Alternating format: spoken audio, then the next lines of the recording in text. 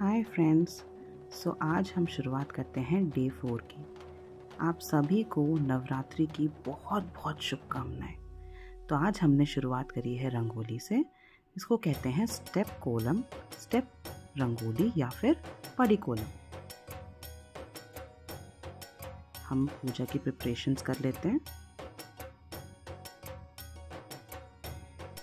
ये हमारे नैवेद्य बन रहे हैं, जो कि हम आज माता कुष्मांडा को चढ़ाएँगे।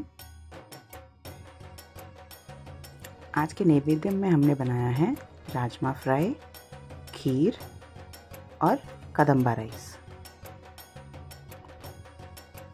शुरुआत करते हैं हम आरती से।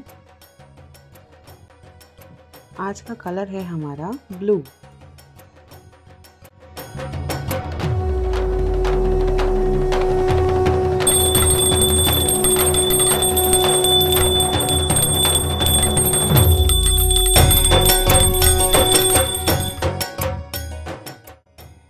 अब हम शाम की आरती की नैवेद्यम की तैयारियाँ कर लेते हैं।